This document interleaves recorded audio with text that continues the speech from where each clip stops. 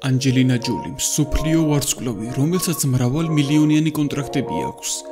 გარდა კონტრაქტებისა, ანჯელინა დაკავებულია სცენარისტობით, რეჟისორობით, მოდელობით და ქველმოქმედებით. თავისი ნიჭის დახმარებით მან მოიპოვა სამი ოქროს გლობუსი და ოსკარი. ხოლო მისმა გარეგნობამ აქცია ერთ-ერთ ყველაზე ლამაზ და სასურველ ქალად მსოფლიოში. თუ გაინტერესებთ რა შეხარჯავს ანჯელინა თავის მილიონებს, მაშინ ამ ვიდეოს ბოლომდე უყურეთ. მანამდე კი აუცილებლად გამოიწერეთ არხი და გააქტიურეთ ზარეზღილაკი. ახლა კი დაუწყოთ. ანჯელინა ჯოლი დაიბადა 1975 წლის 4 ივნისს ლოს-ანჯელესში, მსახიობების ოჯახში. მისი მამა ჯონ ვოიტი იყო ჰოლივუდის ვარსკვლავი. 1971 წელს დაქორწინდა ულამაზეს მსახიობზე, მარშელინ ბერტრანდზე, რომელიც 12 წლით უმცროსი იყო. ორი წლის შემდეგ გაუჩნდა შვილი სახელად ჯეიმსი, ხოლო 1975 წელს სამყაროს მოევლინა ანჯელინა ჯოლი. თუმცა თბილი ოჯახური იდილია დიდხანს არ გაგრძელებულა, რადგან ჯონი ხშირად იცვლიდა პარტნიორებს და სახლიდან დიდი ხნით იკარგებოდა. ამის გამო ხშირად სკანდალშიც კი ეხვეოდნენ. საბოლოოდ ამ ყველაფერს დედამ ვერ გაუცრო და ბავშვებთან ერთად ნიუ-იორკში საცხოვრებლად გადავიდა. ხოლო 1978 წელს ოფიციალურად გააფორმა გაყრის დოკუმენტი.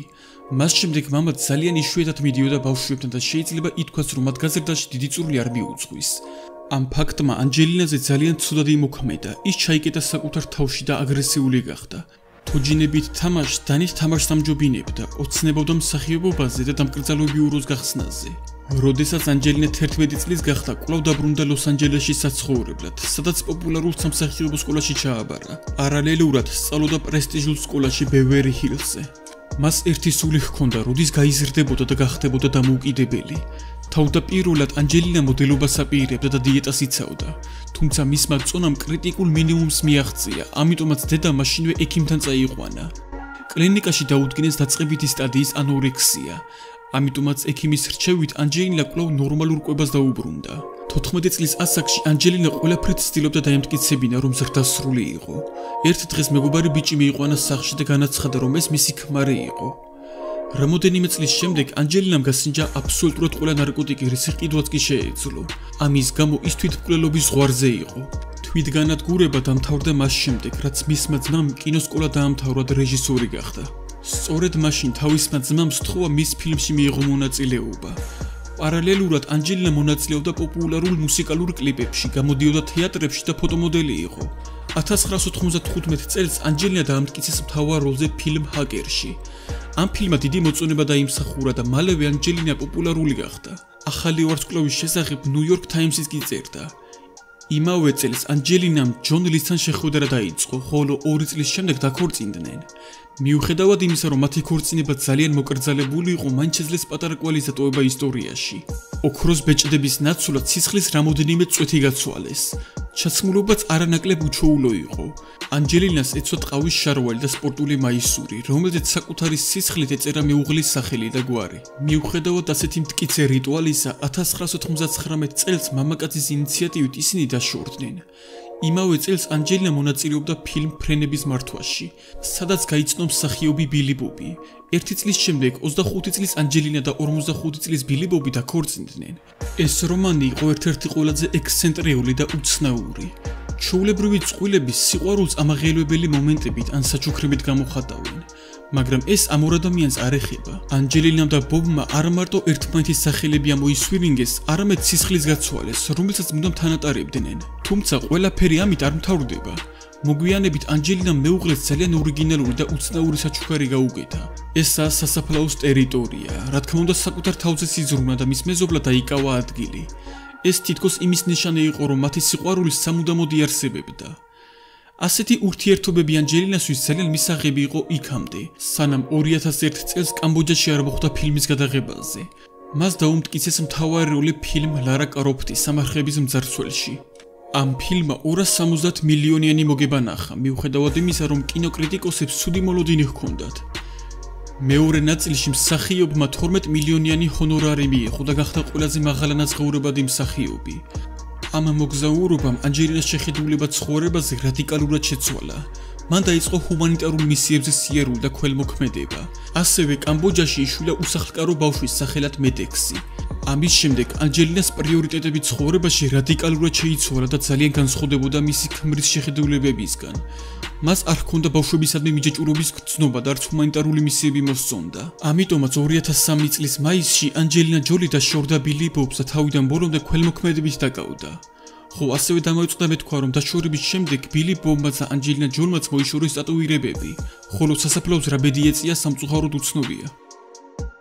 2005 წელს ძალიან დიდი აჟიოტაჟი გამოიწვია ჰოლივუდის ვარსკვლავმა, როდესაც ეკრანებზე კომედიური ბოივიკი მისტერ და მისის სმიტი გამოვიდა. ფილმმა 480 მილიონიანი მოგება ნახა. მთავარ როლებს თამაშობდნენ ანჯელინა ჯოლი და ბრედ პიტი. მათი ჰონორარი 20 მილიონი დოლარი იყო. გადაღების დროს განქორწინებულ ანჯელინასა და ცოლიან ბრედ პიტს შორის რომანი გაჩაღდა. როდესაც ბრედ პიტი გაშორდა მეუღლეს ჯენიფერ ენისტონს, ანჯელინამ და ბრედ პიტმა შეწყვიტეს პაპარაცებისგან დამალვა. ამის შემდეგ წვილმა რამოდენიმე წარმატებული პროექტი გააკეთა, რომელთა ჰონორარი უამრავ ციფრისგან შედგებოდა, ხოლო რეჟისორები რიგში დგებოდნენ, რათა ანჯელინა ჯოლს დაემშვენებინა მათი ფილმები. 2005 წელს წვილი ეთიოპიაში წავიდა, სადაც უსახლკარო ბავშვი იშვილეს. ამ ინციდენტის გარშემო უამრავი ხმა და სკანდალი ტრიალებდა. პრესაში გავრცელდა ინფორმაცია, რომ ანჯელინა ჯოლი ატყუებდა თავის საყვანისმცემლებს, რადგან თავდაპირველად მსახიობი ამბობდა, რომ ბავშვის დედა სპიდით გარდაიცვალა. თუმცა მოგვიანებით ბავშვის დედა ადანაშაულებდა ანჯელინა ჯოლს და ეთიოპიის კორუმპირებულ მთავრობას ბავშვის მოტაცებაში. მაგრამ მოგვიანებით ქალმა აღიარა, რომ ბავშვი თავშესაფარში ჩააბარა, რადგან არ შეეძლო მისი გამოკვლევა. რამოდენიმე წლის შემდეგ წყვილის ბავშვი შეეძინათ, რომელსაც ჩაილო დაარქვეს. მისი პირველი ფოტო 10 მილიონ დოლარად გაყიდეს და ეს თანხა სრულად ქველმოქმედებაში დახარჯეს. 2007 წელს ვიეტნამში იშვილეს 3 წლის ბიჭის სახელად პაქსტიენი. ეს სახელი შეარჩია ანჯელინას ზედამ სიკვდილამდე. ერთი წლის შემდეგ ანჯელინა და ბრედი ორი ბავშვის ბიოლოგიური მშობლები გახდნენ. ამჯერად მათი პირველი ფოტო გაიყიდა 14 მილიონ დოლარად, რომლის ერთი ნახევარი გადაირიცხა საქველმოქმედო ფონდში, ხოლო მეორე ნახევარი ახალი ორლიანის აღსადგენად, რომელიც ძლიერმა შტორმმა გაანადგურა. 2012 წელს ანჯელინამ და ბრედმა ბავშვების მოთხოვნით ითამაშეს ქორწილის ცერემონია მათვილიაზე საფრანგეთში, შატონ მირავალში.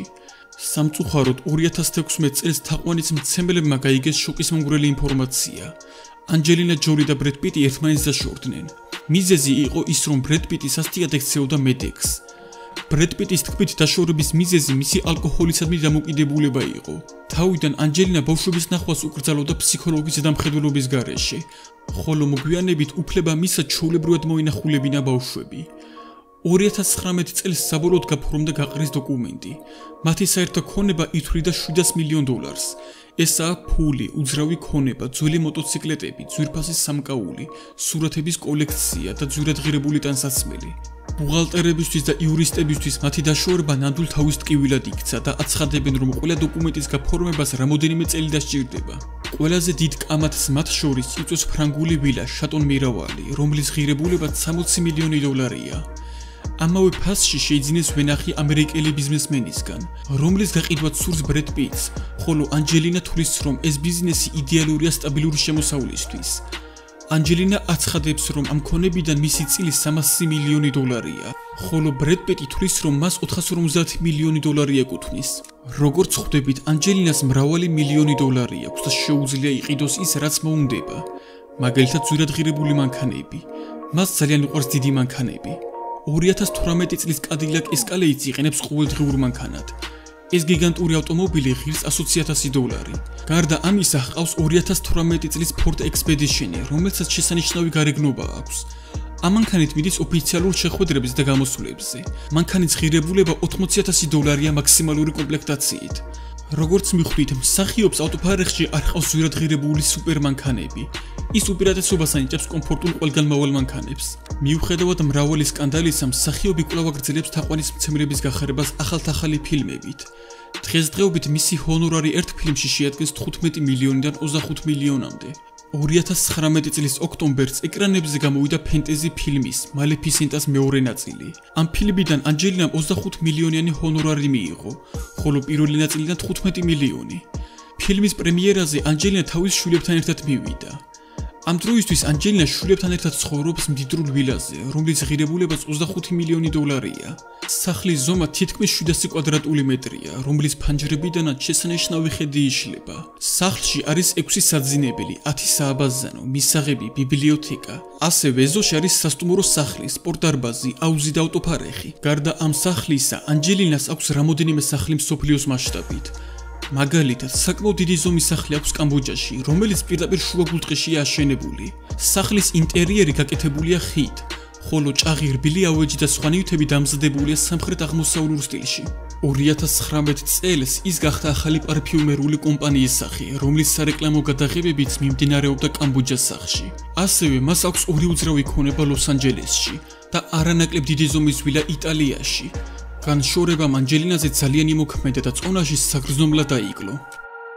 ამით ვიდეო დასასრულს მიუახლოვდა. როგორ ფიქრობთ მეგობრებო, რომ არა ანჯელინას ერთი საბედისწერო მოგზაურობა კამბოჯაში? როგორ განვითარდებოდა მისი ცხოვრება? აუცილებლად დაწერეთ კომენტარებში. ასევე მოიწონეთ ვიდეო და გამოიწერეთ არხი. მეკიდროებით და გემშვიდობებით. ნახვამდის.